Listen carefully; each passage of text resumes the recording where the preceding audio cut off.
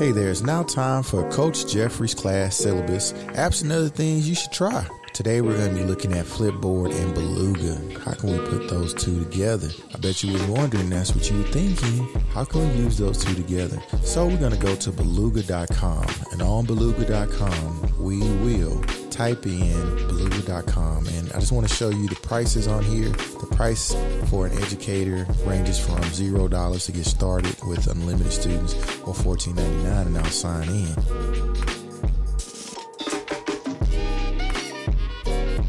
I love that I can use it with my classroom. I want to go to a current event. I want to look at the war in Ukraine. We're talking about it in my classroom. And I also want to flip some information into my Flipboard magazine. So I like the fact that I can click on this newspaper icon and then pull up these links. In my school, we have an initiative on writing and reading. So I'm going to click on that and I'm going to flip this article into my Flipboard magazine. And in my Flipboard magazine for parents or somebody who is at home, I'm gonna put in here the teaching strategy of a 321.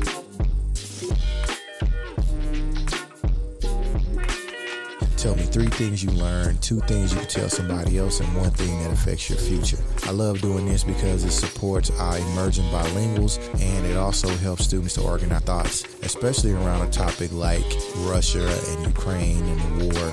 And it's a very good uh, article that we can use to get a really good class discussion going. So from here, I'll type this out and then I'll flip this into my Flipboard magazine. So whatever links are going to be used in this is going to be here. I'm going to go ahead and click the play icon and then that's going to bring up the entire story. So this is like a lesson. And so these little circles over here allows me to click through the presentation for the students and the students can answer these questions. I really like this question right here, especially where it says explain.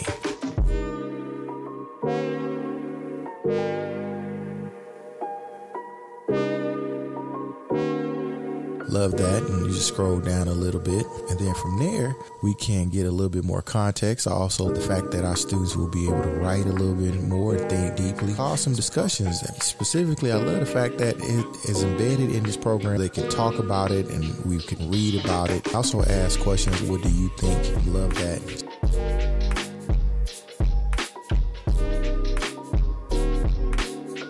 So we're going to go back to our Flipboard magazine and we're going to pull up the article that we had there. And that article can then be shared on social media for further discussions. Maybe parents want to know what's going on in the classroom. That's great. I'll share this article with them and then they can see it.